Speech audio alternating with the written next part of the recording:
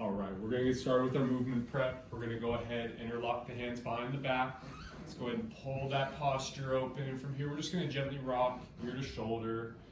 We're not forcing any range of motion, letting the body go where it goes. We can sway the weight side to side. If you'd like to, you can drop the chin to the chest. Look up to the ceiling. Just trying to get some good movement in before we start here.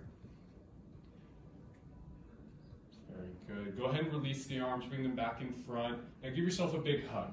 From here, we're gonna start rotating side to side. We're just gonna shift the weight. Whatever side you're rotating to, that backside foot will pivot, go up on the toe. And we're just gonna gently rock side to side, going as far as you can, not trying to force anything still. And as you feel more comfortable, as you start warming up a little bit more, you can go a little bit quicker, try to go a little further. And then now let's go ahead and release the arms, bring them out wide. We're just trying to expand the circle, get a little more movement. Just like you're doing, you can speed it up a little bit feeling warm, feeling good. Very nice. We'll just go a couple times back and forth here. We'll come back to center. Now, let's chamber the hands.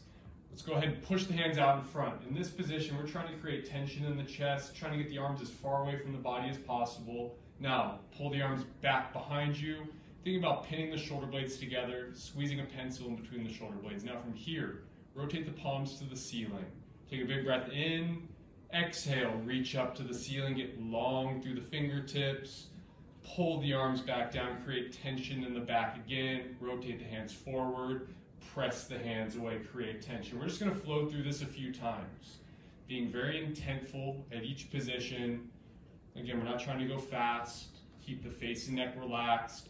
You can flow through this five times, 10 times if the overhead position is something you have a little bit of challenge with. Spend a little bit more time on this. And again, ideally, we're getting the palms straight up to the ceiling at the top, getting long through the hands. But if you can't get there, that's okay. Go to whatever range of motion that you have. And Nancy, if you don't mind doing a few facing to the wall, please. Pushing the hands away, creating tension in the chest, pulling back. And our example here has great range of motion at the shoulder, so she can get right overhead straight up to the ceiling. Go one more time, all the way up, all the way back down. Very good. And we'll come back to the camera, front facing, please. Now we're going to sweep the hamstring, getting a good stretch in the back of the leg. We'll have you do is kickstand one foot out in front. The heel of that front foot's going to be just about in line with the toes on the back foot. We're going to start by taking a big breath in. On the exhale, you'll bend down to the floor, trying to get as close to the ground as you can. You'll come back up tall.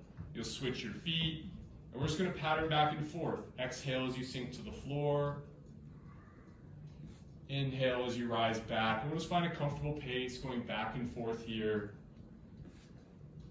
Again, 10 times, 20 times, do as many as feel good.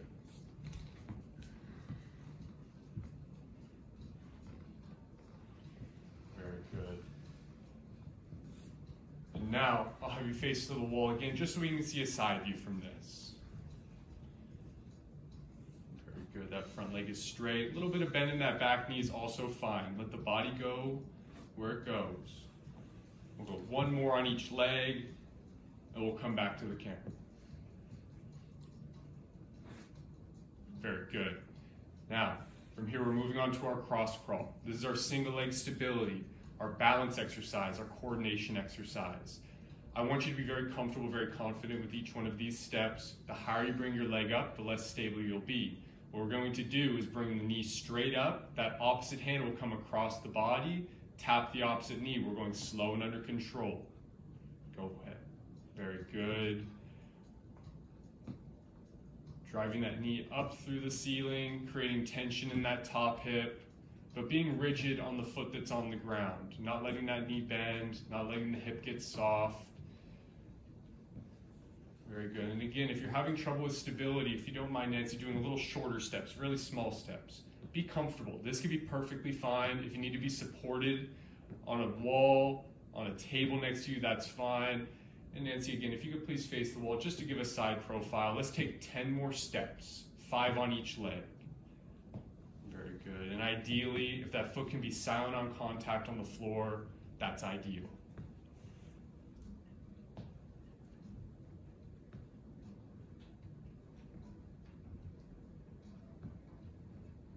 Perfect.